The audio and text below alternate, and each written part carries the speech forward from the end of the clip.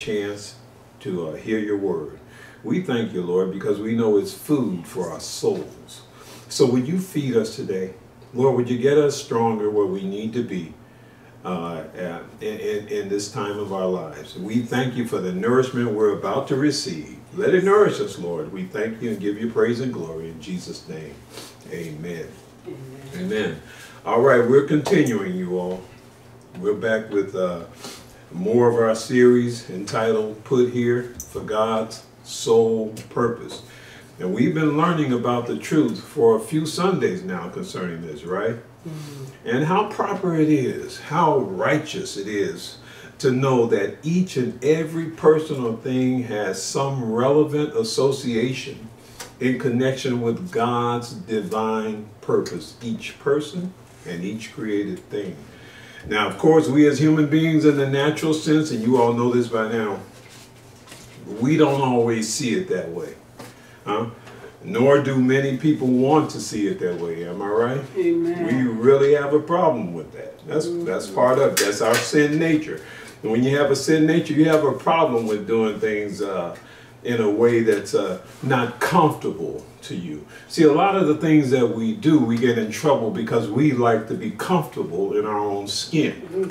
And how many of you know that God's not put here to, to let you be comfortable?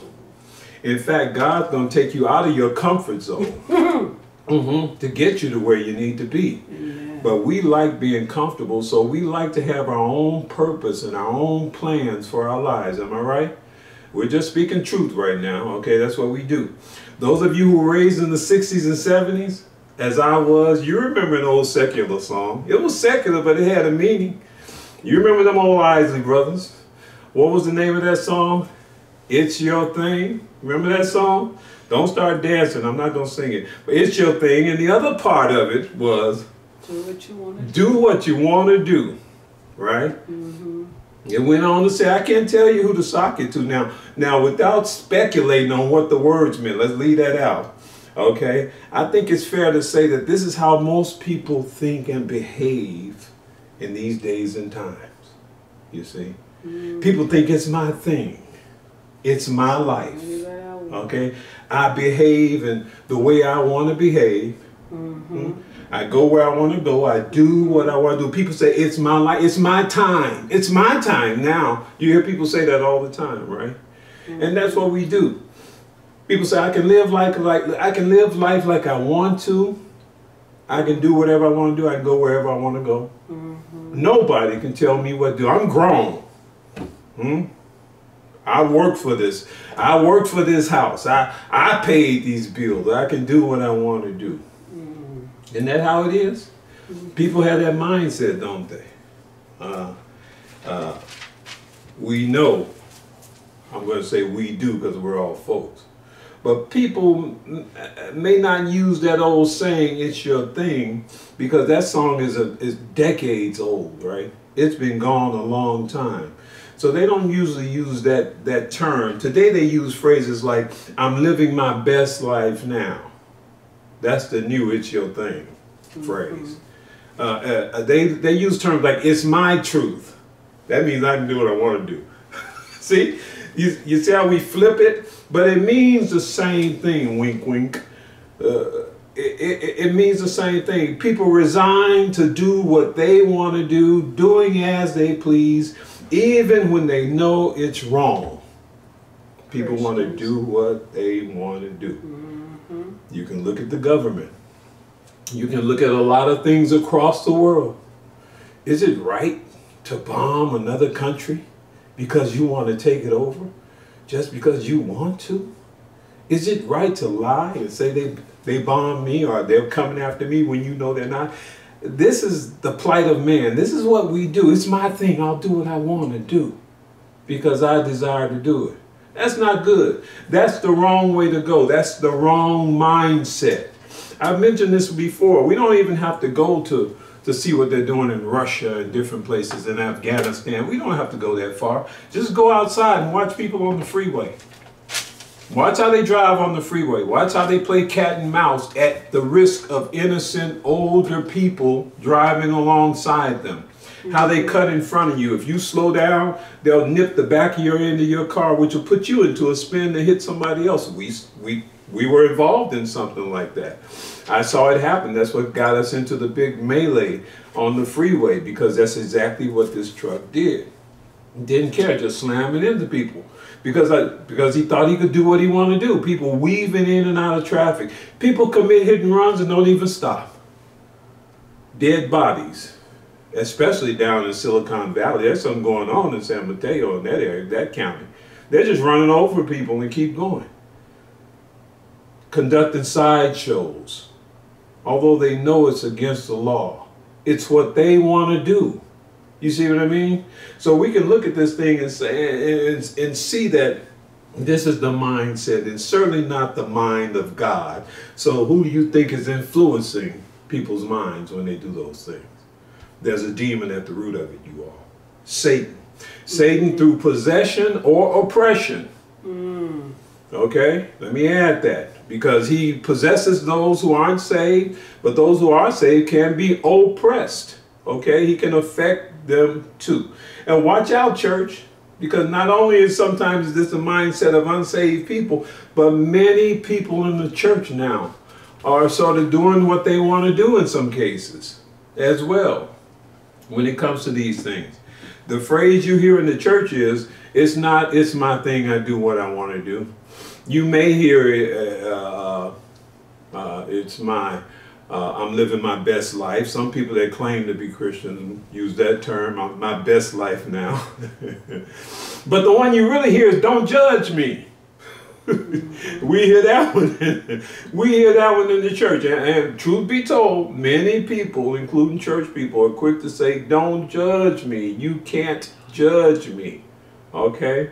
Especially when what they're doing is something that they really want to do. Okay? And people will result to taking scripture out of context and twisting the scripture. I called it uh, word wrangling. Uh, you know, you don't have to go to, to a rodeo to see a word wrangler. Sometimes you just come to church and, and let people wrangle that thing or listen to some of the messages that putting out that's being put out in a compromised church and you'll you'll hear some word wrangling try to make it seem what they're doing is okay, okay? When obviously it's not. People leave churches, people go church hopping, pastor shopping, etc., because they don't like the messages that the pastor may be preaching. And especially if they think he or she is preaching to them or about them. That's a problem. And by the way, saints, if you feel that way, you're probably right. Okay, I'll say that uh, and I'll tell you what I mean. Not right because the pastor is talking about you in particular, but he's talking about everybody. And understand that it's not the pastor talking, it's God talking through the pastor. See, that's what we have to understand. Don't feel alone. Just know that you're, you're likely not the only one feeling that way. Because, as I said, it's not the pastor who's talking to you, but God through the pastor. And guess what else? The Lord may be speaking to the pastor as well. Okay? So that he can get him or get them and others together in addition to you. You see what I mean? You ever thought of that? You get what I'm saying? See, God is no respecter of persons. He prepares a meal so everybody can get fed. That's what I'm trying to say. Okay? Not just one person. Amen.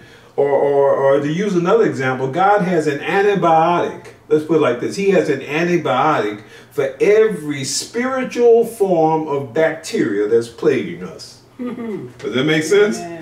He knows, okay? He administers it through his word. It's up to us to receive the medicine. Amen. Okay?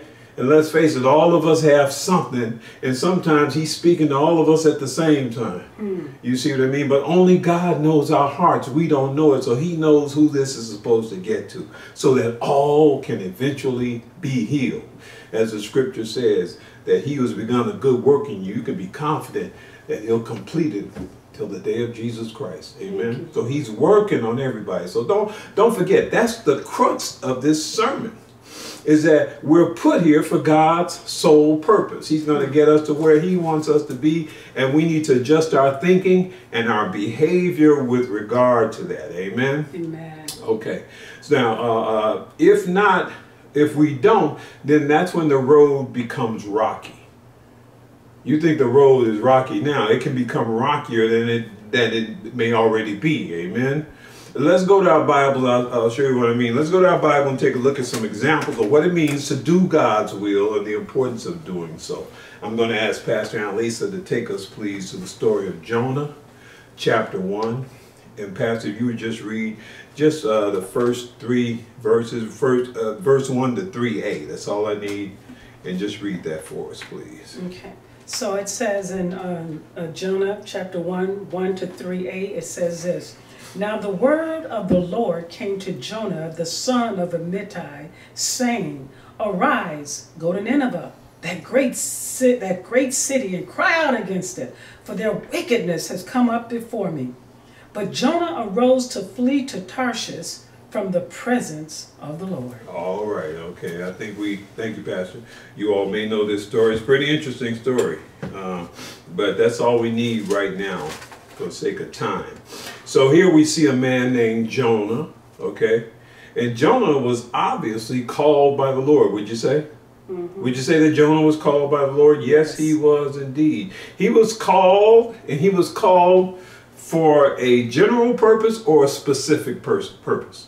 A specific purpose, amen. God didn't just say go and hang out or go take a trip. Here, I'm paying your fare. He said, no, go out and cry out against these people because their wickedness has come before me. So he told Jonah to go for a specific purpose to do a specific job. Okay? And God had some things planned for the people of Nineveh, didn't he? Mm -hmm. God had some, some things planned, and he intended to use old Jonah, brother Jonah, for those plans. Amen? But we see that Jonah what? Jonah wasn't willing to adhere to God's plans, was he? Mm -mm. That's and why do you think that was? Well, like it was because Jonah had his own plans. Mm. Jonah had his own ideas. Jonah had an aversion to the people of Nineveh, didn't he? Yes. Okay. Jonah didn't like them folks. Do we see that nowadays? -hmm. People don't like those people. They don't like those folks. Okay? Well, Jonah didn't want to deal with Nineveh. And I'm not saying Nineveh was, Nineveh sound like they were a bunch of baby's kids. But the point is, it, it doesn't matter when the Lord have something for you to do. See, God's plan goes further than ours, don't mm -hmm. See? And Jonah didn't want to do it. And Jonah said, nobody's going to tell me what to do. He didn't say that, but that was the mindset because he he he he fled even the presence of the Lord. He didn't want to be around God at that time. Some of us do that. We don't want to be around the Lord. We don't even want to hear the word. We, people escape and try to get away. They go places. They shut themselves in. They shut themselves down. They go in isolation. Really, they're trying to get away from, they say they're getting away from a certain thing, but we're really trying to get away from the word of the Lord because we know the word of the Lord is truth. You see what I mean? If we get away from truth, then we're really running away from he who is truth. Hmm. Jesus is the way, the truth, and the life. So if we're running away from the word, we may as well be doing what Jonah is doing. Mm -hmm. And that's really, that should remind us of that old Isley Brother tune. Can you hear Boom, boom, boom, boom. It's your thing. Here we go. We're back to it's our thing. That's what Jonah was saying. I do what I want to do. Okay? Nobody can tell you who to help but you. He didn't want to help him. He said, you can't tell me who to help. I want to help whom I want to help, and I don't want to help those Ninevites, so I'm not going to do it. And that's why we've been served this sermon. We may not know there's a little Jonah in us. We may not know when that Jonah spirit is going to rise somewhere because there are some people today, okay, who have a JM, a Jonah mentality, when it comes to moving according to God's will. Some people won't do it. When it comes to moving uh, according to God's will instead of uh, their own will, or God's will versus their will. See, it's a contest. there's a conflict. You know, the flesh warring against the spirit. You you know that's that scripture in Galatians 5:16, the flesh warring against the spirit in that in that section and talks about that. Okay.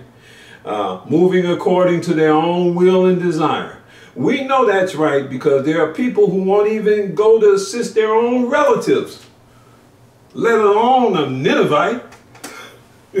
we got people that you all know I'm right because you've got some relatives who you refuse to go see. It's like pulling teeth because of whatever reason or whatever past historical issues may be going on in the family. Whatever may have occurred, those issues may still be smoldering. Okay? I mean, the fire may be out, but the, in the years gone by, but somebody's heart is likely to still be hardened to the point where they just refuse to deal with their own kin. Have you seen that before? Mm-hmm. Yeah, we've all seen it. We may not even realize it ourselves, but guess who does realize it? The Lord. The Lord. God knows. And, and the Lord knows because He designed you for His purpose. He designed each and every one of us for His purpose and His plan, not the plans of man or the plans of unclean spirits or bogus ancestral spirits, but the Holy Spirit of God. Mm-hmm. Amen. That's what we need to know. Okay? You see, God doesn't want your heart hardened toward others. Uh, that's not His uh, plan. Have you ever thought to yourself, hmm, I wonder what God thinks about this?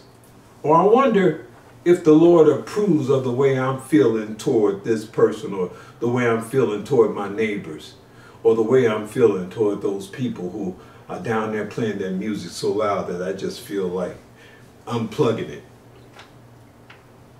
I wonder how God feels. I wonder if He has a plan in all this for me. Hmm. See, it's easy for me in my comfort zone to be uncomfortable when I see something or I feel something or I hear something that I don't like. But like I said before, God's not worried about your comfort zone. He's got his own plans for your life. Amen. That's what we have to understand. Amen. Amen. Yeah, and, and and that's what it was about Jonah. You think God didn't know that Jonah didn't want to go down there and he was going to hide under a leaf and all that other stuff? I had a little dog that went and hid under a leaf one day because he acted up and the other dog bit him he said, Rah! and he ran and I had to look under this big old leaf. I may as well, I should have named him Jonah. I forgot his name, Freddie. Should have named Freddie Jonah because that's what he did. He hid under a leaf. Fact is, we're people, unless we're people who know God, people who know Jesus, chances are we're not going to recognize our shortcomings. Because it's your thing. You do what you want to do, right? It's your thing. We've been doing our thing for so long. That's why. That was Jonah, you all. The sad part is that Jonah knew who God was. Did he know God? Mm-hmm. Was Jonah a prophet? Mm-hmm. Jonah was a prophet, amen. Jonah was a man who was a prophet, okay, an uncooperative prophet, a reluctant prophet. let me add that. but he was a prophet just the same. And that's another teaching point while we're on this. Can God use people that are reluctant? Does all the time. Amen. Mm-hmm. Yeah. That's another teaching point. God can use just about anybody, can he? I'm going to say just about. I'm going to say he can use anybody, okay? Anybody. God can use hard-headed, stubborn folks. A clay. He can use those who are agreeable. Matter of fact, he's going to use you whether you like it or not. okay? God, I, I said stubborn, stubborn folks. Those are because we're all tools. Remember, I said that before. I said that at the, at the uh, I think we are in Bible Grace study. TV. Grace TV India. I told the people in, in, in India, they, they're getting some of this too. Okay? That we're all toolbox. Uh, we're all tools from his uh, uh, vast spiritual toolbox. That's what I'm trying to say. The point is, however, that we as people must we must be willing to relinquish or let go of our own fleshly or carnal desires and submit to God so that He can use us as tools. Okay? that he can use us at, uh, for his purpose and his plan. And, and that's what happened to Jonah. Those of you who know the whole story know that Jonah had, Jonah wound up doing what? Doing some deep sea diving, right? I mean, he didn't go down to see coral reefs or anything, but he, he had, he was dunked, he was dunked like a donut, right? He was dunked into the water and he wound up in the belly of a fish, didn't he? Mm-hmm. Okay? Yeah, yeah, you could say that's what happened, but God had to do that so he could get right. Let's just say that God delivered Jonah to a large fish in order to get Jonah delivered. did he? That's what he did. He was God's man, he was God's boy, but he still had something that needed to be delivered in him, from him, right? Mm. Some of us are like that. God wants to use you and he may use you, but he knows he's still, while he's using you, he's going to get you delivered. He's going to deliver some things up out of you. Thank you, Lord. Amen. Don't think you're there yet. Okay? None of us can say we're there yet. He's using us for certain things. Oh, but you might be doing some deep sea diving or some skydiving, which you never know, to get you delivered. Amen. That's what he did with Jonah. Let me give you another example. Listen to what's written in uh, the book of Jeremiah. Jeremiah. Let's go there, Pastor. Let's go to Jeremiah chapter 29 and just read verses 11 to 14. This is very, very interesting. You all have read this before, but again, the Lord gives it to me in a way that I have to look at it again. Jeremiah chapter uh, 29, verses 11 to 14 mm -hmm. says this, the word of God. Um, for I know the thoughts that I think toward you, says the Lord, mm -hmm. thoughts of peace and not of evil, to give you a future and a hope. Mm -hmm. Then you will call upon me and go and pray to me, and I will listen to you. Mm -hmm. And you will seek me and find me when you search for me with all your heart. Mm -hmm. I will be found by you, says the Lord, and I will bring you back from your captivity. Yeah. I will gather you from all the nations and from all the places where I have driven you, says the Lord, and I will bring you to the place from which I caused you to be carried away captive. Woo! Thank you. Thank you, Pastor. I'm telling you, that's a word. Is that not a word? Mm. We just like to read 11. Well, I know the thoughts I think toward you. Thoughts peace, are good and peace not and not evil, comfortable, hope. cozy, to give you a future. What's, what, what's your hope? What's your, what do you want for your future? We like that because it makes God sound like a genie, don't it? We want a genie God. What's your command? Prosper. It doesn't work like that. What do you want? Well, we, we got to read through this thing, right? Most of you know that. This tells us that God already knows what we need and what he intends for us. The Lord says he alone knows the plans that he has for his people. That part is right. And he's talking about Israel. We'll talk about Israel some other time, but you know we're part of Israel, right? We are now grafted in. The same goes for us, okay? He knows. Now look, watch this. I, uh, uh, because I know some people are, are looking at this saying, well, he said he knows this and he knows and he give us a future and a hope. But, but, but I want you to look at the part uh, down in, in 13 and 14. Is that where I am? Yeah. And you'll seek me and find me when you search for me with all your heart. He says, I'll, in 14, he says, I'll be found by you, says the Lord, and I'll bring you back from your captivity. Their captivity. Okay? God's willing to bring them back from their captivity. God's willing to bring us back from our captivity. Do you see that? Do you understand where, I'm, where we're going? Because there's even uh, more that we need to see in this passage. In the last sentence, it says, The Lord says He'll bring His people back not just from their captivity, but from the places where He caused them to be carried captive. He caused. He caused, He's allowed some folks to be captive. Okay? We need to understand what's going on here. You know, Israel wandered for a long time aimlessly, didn't 40 they? 40 years. 40 some years. It should have taken them less than a month. 40 some years they wandered around, okay? Due to their own, it's my thing, I do what I want to do. It until because they, they, kept on singing that Isley Brother tune. They, uh, uh, I mean, mentally, the Isley Brothers weren't around then, but they, but they were singing that tune, that idea in their heads that they wanted things that way. The Lord said they were a stiff necked and rebellious people. God already knew. Due to their own doing their own way, they were led into captivity. Had to be. Remember what I said about comfort? God's not concerned about that comfort. He wants to get us right. They had to be delivered from some stuff. Okay? And um, he said that he allows them to be carried away. He calls them to be carried away captive. And, how so? If the people were intent to be stubborn and rebellious, my friends, whether people want to accept it or not, God knows all things because he's all sovereign. He is a sovereign God. God was not caught off guard, was he? The Israelites were. See, we're the only ones that get caught off guard by our uh, rebellious actions. Because, see, we act like we didn't know what we, we, when it happens. We say, well, why is this happening to me? And then if you just sit down and go back, get yourself something to drink and put your feet up and just think about it. Think about what's been going on in your life. Sometimes, not all the time. But we can surely see from this passage that God knows He's sovereign of, over all things. He knows the end from the beginning and the beginning from the end. Amen. And that's what he's talking about here. Now hold that thought for a second from Jeremiah 29 and let's see what the word says in Revelation 1:18. Pastor, go there. We're going to come back to Jeremiah, but go to Revelation 1:18 for a minute, please. Revelation 1:18 mm -hmm. tells us this. What does it say? What's Jesus saying there?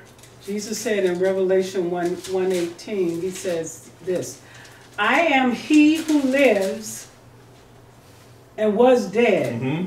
And behold, I am alive forevermore. Amen. And I have the keys of Hades and of death. Amen. Thank you, Pastor. See, this is the same God. This is the only reason I went here. I want you to know this is the same God, the Lord. This is Jesus says he has the keys to the keys that unlock and lock death and Hades itself. Okay? So he knows who is bound for hell as well as captivity prior to leaving this earth. He knows where you're headed. He, he knows what you don't know. He knows what we don't know. He knows what the government can't tell you. He knows what the doctors don't know. Okay? he knows what uh, the, the counselors, the lawyers don't know because he's the wonderful counselor.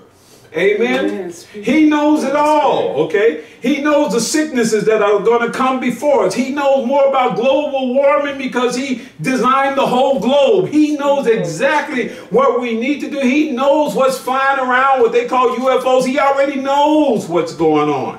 Speak, Holy Spirit. You see? That's what it's talking about. He says, I have the keys of Hades and of death. I think that covers it all. You see what I mean? So he knows. And, and uh, he knows. So if he knows all of that, as well as about captivity, he knows who's going to be held captive and why before leaving this earth. He knew for the Israelites and he knows for us. He knows about us as well. Pastor, take us also to Proverbs 15.10 and see what it says, please. Proverbs 15.10 says this. Mm -hmm. Proverbs 15.10 tells us, Harsh discipline is for him who forsakes the way, for him who forsakes the way, mm -hmm. and he who hates correction will die. All right, thank you, Pastor. Harsh discipline is for him who forsakes the way, and he who hates correction will die. In other words, this is a, this uh, uh, this is all pretty self-explanatory if you look at it, don't you think? Mm. It's saying that God is omniscient, He's omnipotent, He knows all, He sees all, He has all power, yet He gives all people the opportunity to be used for His purpose. Okay? He's got discipline, He has to discipline us if we don't get it right. And the discipline, yes, it can be harsh, the same way you discipline your children, hopefully. Sometimes it takes some harsh discipline because you want the best for them, don't you? Yes. And if you don't discipline them right, they'll be out there doing anything in there. They'll turn against you if you don't raise those children right. Yep. Okay?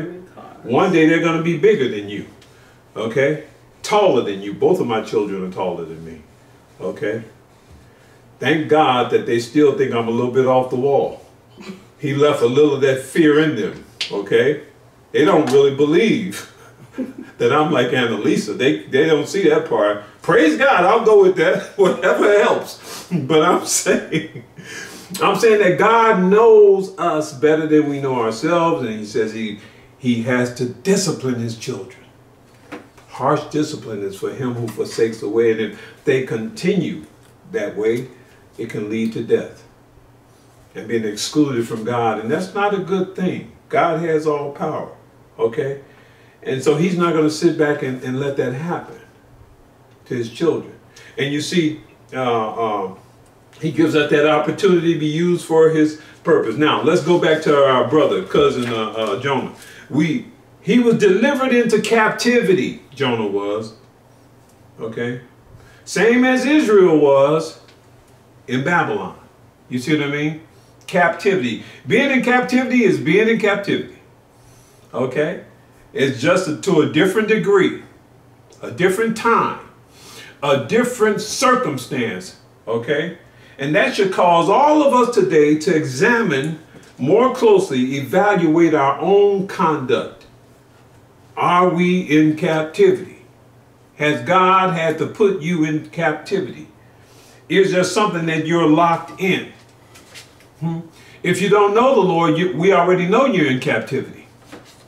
Okay? You're, you're, whoever's pulling your strings, that's the one that you're in servitude to. If you don't know the word of God, then you know the world and the devil, and that's who's fueling you right now. No matter how good you try to be, you're still in captivity. Okay? But even those of, the, of us that are in the Lord, that have been set free, okay? Free to come to Christ, we still have things that we may be, uh, may need to be delivered from. Okay? Because it could be that many people hearing this message today are going through all sorts of trials, may still be stuck in some situation, being held captive mentally, physically. Some people are being held captive financially. Oh man, they can't do anything without uh, thinking about money. Uh, some people emotionally. Some people have sexual uh, uh, uh problems, addictions. Some people have uh, drug addictions. They're in the church. They're there. Okay? All this, all of this, etc., etc., because they've committed to that mindset. Still want to do things on their own. Still want to do things their way. Okay? God knows the wheat from the tares. We don't. We've got a real, real, real good idea. But what if God is holding something at a certain time to get someone else where they need to be? Well, he's waiting on you to get to where you need to be. And you're still being held captive because you're still doing things your way. Huh? Get your thing. Do what you want to do. Listen, friends, it's time you realize that this is that was just a song, okay? I only used it to jog the to get the wheels turning, to, to paint a picture. We can't afford to adopt that song as a mindset. That's what I'm saying. We can't afford to say it's my thing, I'll do what I want to do. It's my life, I'm going to live my way. It's my truth. I'm living my best life now. I'm not waiting on God. I ain't know if he's there. I'm going to do what I need to do, and that's just the way it is. We can't afford to do that, especially when we know the Lord. Amen. Don't think you can live and do as you please, and God is just going to sit back and watch you ruin your life and possibly die and go to hell? You think he's just going to sit there and watch you do that? Mm-mm. Not the God we serve. Not if he's got a purpose and a plan for your life. Amen. Uh, not the one and only true God. Believe me, he's got big plans for your lives. Amen. Amen.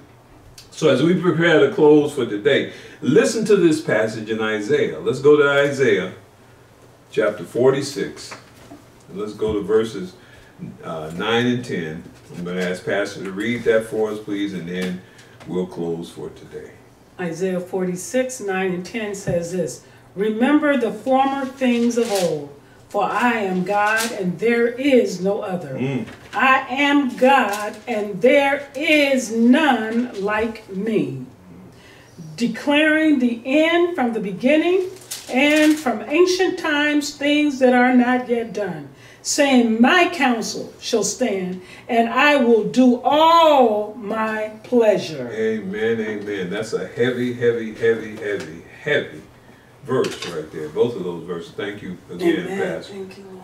So, uh, all right. As if we as if we don't already have enough facts and confirmation concerning the sovereignty of the Lord our God. This passage in Isaiah simply adds to it even more, doesn't it? Mm-hmm. Uh, uh, it's absolutely amazing if you read it. It's telling us uh, that it's the Lord who, in fact, declares all that takes place. Okay? All that takes place and transpires in the world through the ages, not just today. You saw what happened in Maui? Hmm. Hawaii. You saw what was you see what's happening on the East Coast, the Eastern Seaboard. You see all the tornadoes touching down. You see the heat wave that's going across the world. This scripture tells us it's God who knows all that has not just that which we're going through now. We've got record after record after record of heat wave, and, and they say it's going to get even worse. God already knows all that, and He knew from the foundation of the world, from the beginning of time to the end. Okay? That's because the Lord is omnipotent. He's divine, and so is His plan for you and I. Mm-hmm. Does that make sense? Mm-hmm. If He knows all that, He knows exactly what we should be doing and when, when, when we should be doing it. Amen? Amen. He knows our thoughts better than we do. So in closing, keep in mind that whatever we do, it says in, I think it's in uh, 1 Corinthians 10, 31, we do all to the glory of God. Amen? Mm-hmm. Whatever we do, especially if you know that you were not only put here for God's purpose, but we were put here for what? For his sole purpose. Amen? Amen. Amen. Let's keep that in mind till next time. Praise God. Praise, Praise God. God. Now, to those of you who don't know him, it's time to get to know Jesus. It's time to accept him into your heart. You need him. You need him more than you know. You need him. This needs to be the agenda of the day. This is what you need to write down and put on your refrigerator or in your heart. I need to come to the Lord ASAP, as soon as possible. How do I do it? I'll tell you how. You ask him into your heart with sincerity. And you believe that he is God. And he will come into your heart. You don't need an appointment. You don't have to call. You don't have to uh, uh, text anybody. Just cry out to the Lord. And say, look, just tell the Lord. Repeat after me and repeat this prayer. And you'll be a child of God if you mean it in your heart sincerely. And say, Lord, I am a sinner. And I repent my sins to you right now. I'm sorry for the life I've lived. But I believe that you are God. You died for us. I understand. And you were raised from the dead. Now, I don't understand all that, how it was done. But if that's you, then I need you in my life. Would you come into my life and show me, and I'll follow you in Jesus' name. Amen. Now, if you prayed that prayer and you sincerely meant it, that's that's it. You are now accepted. God's not going to make you do a song and a dance. He already knows where your heart is. Now, the next thing you have to do is get yourself a Bible. It doesn't stop there. You're, you're in, you're granted acceptance. But now there's work to be done, and God is going to do a work in you and through you. And how you get, uh, uh, get to grow in the Lord is to read this Bible, the Holy Bible, and let the Holy Spirit lead and guide you. And you will receive growth where you'll start growing, maturing in the Word. And you'll become stronger. He's going to take away the things that have been hampering you. Some of you have secret sins that nobody knows about but you and the Lord. Some of you have done things, all of us have done things that nobody knows about but us and the Lord. The Lord is going to pull that out of you. He's going to take it away from you. If you've been an adulterer, if you've been a, a womanizer, what's the opposite of that? A manizer? If you've been, whatever the case may be, if you've been lying, stealing, remember stealing when I was little. No excuse. No excuse. But if you did things like that, God knows about it. You repent of it. He's going to take things away from you where you won't do it anymore. If you have sexual ambiguity, where you don't understand, uh, you're a man and you like men, or you're a woman and you like women, give God a chance. He's going to take care of that for you. Mm-hmm. As you mature in Christ, as you get conformed to the likeness of Christ, He wants to He's going to set you apart from what you used to be. You're no longer going to be that way. If you love alcohol, he, he's going to take the taste out of your mouth if you let him. He'll take it away from you. I guarantee you he will. If you let him, going to restore you to what you should be in the likeness of Christ. It's going to be an all it's going to be an all-encompassing act and it may take the rest of your life. But if you stay with him, he'll do it.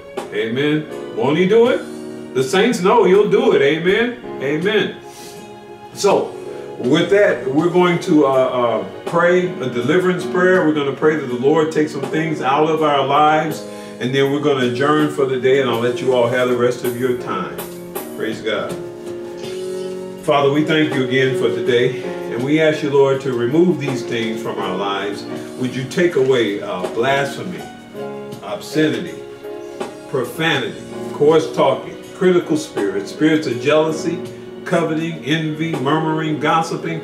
We'll remove selfishness from us, greed, greed, gluttony, pride, rebellion, stubbornness, prejudice, racism, hatred, unforgiveness, unrepentant hearts, spiritual blindness. Would you take away fear, confusion, contentions, argumentativeness, uh, resentment, depression and anxiety, revenge, superstition. Would you help transgender children and people come to accountability in you, Lord God? Remove procrastination, complacency, apathy, lying, stealing, fraud, mental abuse, sexual abuse, child, spousal, and elder abuse, domestic violence in all forms.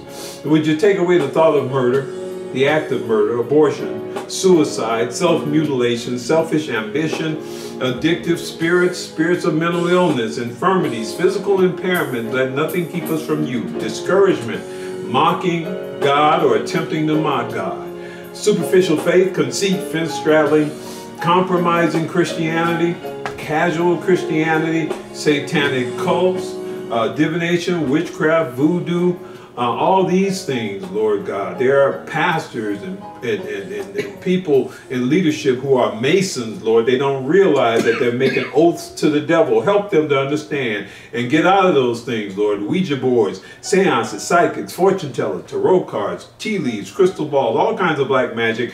Lord, remove that from us. Astrology, homosexuality, bisexuality, adultery, fornication, incest, cross-dressing, pornography, immorality as a whole, gambling, doubt, division, hidden agendas, distractions, unbelief, cyberbullying, rejection, animal cruelty, and desecrating the land that you've given us.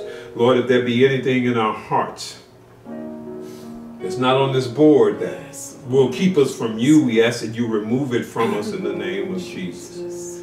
Now, Lord, finally, would you bless uh, all those who heard this message today, all those on, on Facebook, all those who tuned in on uh, YouTube, those who might hear this next week, down the road, next year, I don't know, Lord. You, now that the product is out, you, your word will go where you want it to go. And lastly, Lord, our loyal members, the Zoom crew, faithful followers, Lord, who, who are here and have always been here, Lord, doing their best to follow you.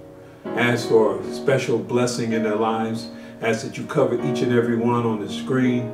Lord God, touch them in a in an intimate way. So they won't have to worry, be concerned, or be confused, Lord, that you are with them. Ask that you provide everything they need health care, healing, mental acuity, uh, Lord God, sharpness, uh, finances, protect their families, Lord God, protect their home fronts, keep their homes safe. No weapons formed against them, Lord, shall prosper in the name of Jesus. Lord God, let them continue to have the boldness and the wherewithal and to walk with you, the zeal, Lord God, that they are a people that you've called to yourself, a chosen generation, a royal priesthood, God's holy nation, Lord God, and know it in their hearts, Lord. Bless them as we continue to serve you. These things we pray, and we give you all praise, all the glory, all the honor, Lord God. Bless us, keep us. In Jesus' name we pray. Amen. Amen. God bless you, saints. Thank you so much for your time. Thank you for accompanying us, meeting us here. Thank you for partaking of this meal. Until next time.